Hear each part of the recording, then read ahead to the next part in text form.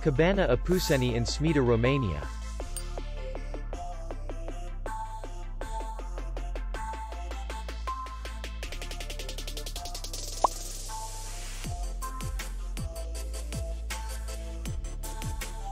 The hotel is in the city center. And distance to the airport is 64 kilometers.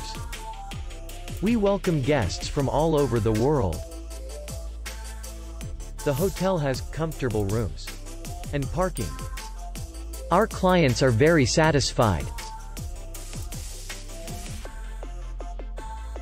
We accept payment only in cash. We will be glad to see you. For more information, click on the link below the video.